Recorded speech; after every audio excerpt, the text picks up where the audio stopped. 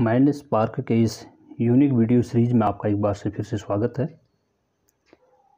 पिछली बार की वीडियो में जब हमने चिन्हों जो साइन की जो ऑपरेशन थी, जो संक्रियाएँ थी, उन पर हमने चर्चा की थी। आपको हमने इसके सिक्स डिफरेंट साइन के बारे में बताए थे उनका जो ऑपरेशन है। आप लोगों का प्यार दे करके मुझे बहुत अच्छा लगा कि आप लोगों ने बहुत अच्छा प्यार दिया वीडियो को। काफ़ी सराहा गया, काफ़ी लोगों ने उसको अपने व्हाट्सअप स्टेटस पर भी यूज़ किया, काफ़ी वायरल हुआ। उसी जोश और विश्वास के साथ मैं आज इसके सेकंड पार्ट को आपके सामने ला रहा हूँ। आपसे गुजारिश है कि आप इस वीडियो को अंत तक ज़रूर देखें, क्योंकि अगर आप इसके बेसिक इस चीज़ को जान जाएँगे इन चिन्हों को जान जाएँगे तो मुझे ये ज़रूर लगता है कि आप मैथमेटिक्स में कहीं पर भी कोई दिक्कत आपको नहीं होगी इन फ्यूचर, क्योंकि इन क्रियाओं का बहुत ज़्यादा महत्व है प्रत्येक क्वेश्चन को सॉल्व करने में। तो बेसिक चीज़ें हैं, बेसिक यानी हमारा जो फंडामेंटल है, उसको अगर हम क्लियर कर जाएँगे तो आगे हमारे कोई भी प्रॉब्लम हमसे सामने दिक्कत नहीं आएगी, हम उनको आसानी से सॉल्व कर पाएँगे। तो आज की इस वीडियो को शुरुआत करते हैं, और मेरे चैनल पे यदि आप नए हैं तो प्लीज़ चैनल को सब्सक्राइब करें, लाइक, शेयर और अपना महत्वपूर्ण वैल्यूबल कमेंट्स ज़रूर दें। आपकी वीडियो कैसी लग रही है? इस वीडियो में आपके सुझाव ज़रूर आने चाहिए। अच्छा लग रहा है तो बताइए। कहीं दिक्कत है वीडियो में? क्योंकि हम भी नए नए तरीके से आपको वीडियो बना कर दे रहे हैं। उन त्रुटियों में सुधार करेंगे। तो आज की वीडियो हम शुरू करते हैं। आज है इसका सेवन पार्ट में हमने जिसको बांटा था। यदि हमारे पास दो निगेटिव नंबर इंटीजर हों या दो ऋणात्मक संख्याएँ हों तो उनका हम यदि अंतर करें उनको घटाएँ तो उसका उत्तर किस किस रूप में आता है, उस पर आज हम चर्चा करेंगे। दो नंबर लेते हैं, दो संख्याएँ, दोनों ऋणात्मक रूप में। Minus seven minus minus four देखिए, दोनों को सॉल्व करेंगे। माइनस सेवन ब्रैकेट के बाहर माइनस है तो प्लस फोर हो जाएगा। ये आ जाएगा। एक प्लस, एक माइनस सब्ट्रैक्ट हो जाते हैं। तो ये आएगा थ्री। सेवन में फोर सब्ट्रैक्ट करने के बाद और साइन कौन सा आ जाएगा? माइनस आ जाएगा, ऋण का चिन्ह आ जाएगा। अगला इसका मैं दूसरा पार्ट लूँ। पहला ले लेता हूँ माइनस टू, माइनस फाइव। ये आ जाएगा। Minus two, minus minus plus plus five. Five में से टू सब्ट्रैक्ट करेंगे, घटाएँगे तो क्या जाएगा? थ्री, किसका साइन? प्लस का साइन तो प्लस थ्री। तो इसमें दो उत्तर आ सकते हैं, एक ऋणात्मक, एक धनात्मक, एक निगेटिव आ सकता है, एक पॉजिटिव आ सकता है। अगला इसका एट पार्ट देखें। एक धनात्मक और एक ऋणात्मक संख्याओं का अंतर। पहला धनात्मक, दूसरा ऋणात्मक हो। उसका अंतर यदि करें तो धनात्मक उत्तर आता है। देखिए कैसे। पहला लेते हैं plus five minus minus two. देखिए, ये रहेगा प्लस फाइव। माइनस माइनस की वजह से प्लस टू आ जाएगा। दोनों धनात्मक होगी धनात्मक संख्या आपस में जुड़ेंगी तो आ जाएगा धन सात, यानी प्लस सेवन। ओके? अगला नाइन वाला कॉन्सेप्ट इसका लेते हैं। उसमें क्या है? दो धनात्मक संख्याओं का यदि गुणा करें, अब हम गुणा की क्रिया पर आगे। अभी तक हमने दो क्रियाएँ जो, जोड़ी इनके साथ। एक ऋणात्मक ऋण के रूप में और एक धन के रूप में, यानी जोड़ और घटाने की संक्रिया जो समझी। अब हम गुणा की संक्रिया के, यानी गुणा के जो ऑपरेशन है, उसको समझने का प्रयास करेंगे। यानी दो धनात्मक हमारे पूर्णांक हों, दो पॉजिटिव इंटीजर हों तो उनको आपस में जब यदि गुणा करें तो एक धनात्मक पूर्णांक प्राप्त होता है धनात्मक संख्या में। प्राप्त होती है। देखिए, पहला ले लूँ प्लस फोर गुणा प्लस थ्री इसमें भी क्या होता है? वैसे गुणा जो होता है, वो एडिशन का ही एक विस्तृत रूप है। या वो कह भी इसका एक सुधारात्मक रूप है। बार बार किसी प्रक्रिया को हम जोड़ने की प्रक्रिया से बचने के लिए, बचने के लिए हम गुणा करते हैं। तो यहाँ पर क्या है, एक धनात्मक और एक दूसरी भी धनात्मक दोनों का गुणा करें तो धन धन गुणा धन होते हैं। तो ये हो गया चार गुणा तीन, बारह। चार तीन, बारह। अगला है, टेन पार्ट इसका। पहले लेते हैं एक, धन छः गुणा ऋण तीन।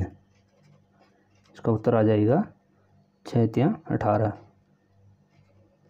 यानी माइनस एटीन ये आ जाएगा माइनस एटीन यानी एक धनात्मक, एक ऋणात्मक संख्याओं का यदि गुणा करें तो इनका जो गुणनफल आता है प्रोडक्ट आता है, वो क्या आता है? निगेटिव आता है। ओके तो ये ध्यान रखना, एक पॉजिटिव और एक निगेटिव जो इंटीजर होंगे या संख्याएँ होंगी, उनका जो गुणनफल होगा, वो क्या आएगा? ऋणात्मक आएगा। अगला है बारवा ग्यारहवा ऋण, यानी ऋणात्मक संख्या और एक धनात्मक संख्या। इनका गुणनफल। पहला, अगर ऋणात्मक हो, दूसरा, धनात्मक हो। ऋणात्मक संख्या को धनात्मक संख्या से गुणा करें। पहले था, धनात्मक संख्या को ऋणात्मक संख्या से गुणा करें। तब हमारा गुणनफल ऋणात्मक आ रहा था निगेटिव आ रहा था। अब यहाँ पर भी निगेटिव आता है। देखिए कैसे इसको हम प्रूफ करते हैं। माइनस फाइव, ऋण पाँच, गुणा धन छः। ये पॉजिटिव है निगेटिव है। तो इसका गुणनफल देखें। धनात्मक और ऋणात्मक। और जब गुणनफल होता है, गुणनफल क्या आता है? ऋणात्मक। तो इन दोनों को गुणा कर लेंगे। सिक्स फाइव जा थर्टी। छः पंचे तीस। तो ऋण तीस इसका उत्तर आएगा। अगला देखेंगे हम इसका कॉन्सेप्ट नंबर ट्वेल्व में। जब हमारे पास दो निगेटिव नंबर हों तो उनका प्रोडक्ट पॉजिटिव आता है। कैसे? देखिए। पहला ले लूँ मैं। ऋण दो गुणा ऋण तीन। बाद में इसकी मैं बहुत बेसिक में जाऊँगा, आखिर ये होता क्यों है? अभी सिर्फ़ आपको सूत्र के माध्यम से बेसिक नॉलेज हो जाएगी तो फिर इसकी विस्तार रूप में फिर भी जाएँगे। ऋण गुणा ऋण, धन। दो गुणा तीन छः तो प्लस सिक्स आ जाएगा। गुणा के बाद अब हम डिवीज़न पर, यानी भाग की क्रिया पर जाते हैं। इसका कॉन्सेप्ट नंबर थर्टीन है। जब हमारे पास दो पॉजिटिव नंबर हों, यानी दो धनात्मक संख्याएँ हों, उनको जब हम भाग करते हैं, भाग की क्रिया करते हैं तो जो भागफल आता है या जो प्राप्त संख्या होती है, वो एक धनात्मक रूप में होती है, जैसे हम इसका उदाहरण देते हैं। धन छ भागा धन दो। इसको इस तरीके से लिख सकते हैं। छः बट्टा दो। दोनों धनात्मक हैं। तो दो से तीन बार भाग जाएगा पूरी तरह। तो धन तीन। यानी दो धनात्मक संख्याओं को पहली धनात्मक संख्या में दूसरी धनात्मक संख्या से भाग देते हैं। तो भागफल क्या आता है? जो क्वेश्चन आएगा वो पॉजिटिव आएगा। अगला है, पहला निगेटिव हो निगेटिव नंबर को पॉजिटिव नंबर से जब डिवाइड करते हैं तो क्या आंसर आता है? Minus eight divide by plus two इसे हम फ्रैक्शन फॉर्म में ऐसे भी लिख सकते हैं, क्योंकि इसका लिखने का तरीका एक ये भी है, धन दो। ऋणात्मक संख्या को जब धनात्मक संख्या से भाग देते हैं तो उत्तर ऋणात्मक आता है दो से यह आ जाएगा आठ बट्टा दो, यानी ऋण चार। अगला है पंद्रह में। Concept number minus division by minus number equal to positive देखिए कैसे? दो ऋणात्मक संख्या को जब एक दूसरे को भाग दिया जाता है तो धनात्मक रूप में आता है। Minus ten divide by minus five इसको हम लेंगे minus ten over minus five minus से माइनस कैंसिल होता है तो प्लस आता है। Ten over two, sorry, five, और यह आ जाएगा प्लस टू।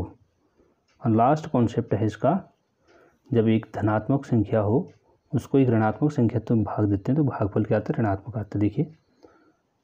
प्लस ट्वेल्व ले लेते हैं पहला नंबर इसको निगेटिव नंबर यानी ऋणात्मक संख्या माइनस फोर से डिवाइड करते हैं तो क्या आता है? Equal plus twelve over minus four. Plus को माइनस से डिवाइड करने पर माइनस साइन ट्वेल्व से ट्वेल्व ओवर फोर और ये आ जाएगा माइनस थ्री। ओके?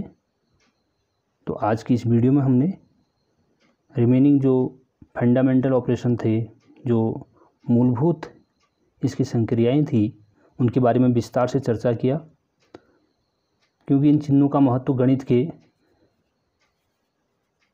सीखने में, गणित को सीखने में बहुत मील का पत्थर साबित होती हैं। अगर ये अच्छे से अगर हमें समझ में आ जाए तो कहीं पर भी हमारी त्रुटियों की संभावना नहीं रहती है। तो मुझे विश्वास है कि आप लोगों को अच्छे से समझ में आया होगा। तो यदि मेरे चैनल पे आप नए हैं या पुराने भी हैं, नए वालों के लिए सब्सक्राइब करना ज़रूरी है। और पुराने लोगों को शेयर करना ज़रूरी है, क्योंकि आपका ये छोटा सा प्रयास कितने लोगों को इस ज्ञान को पहुँचने में मदद करेगा। मिलते हैं नेक्स्ट वीडियो के साथ। बहुत बहुत धन्यवाद।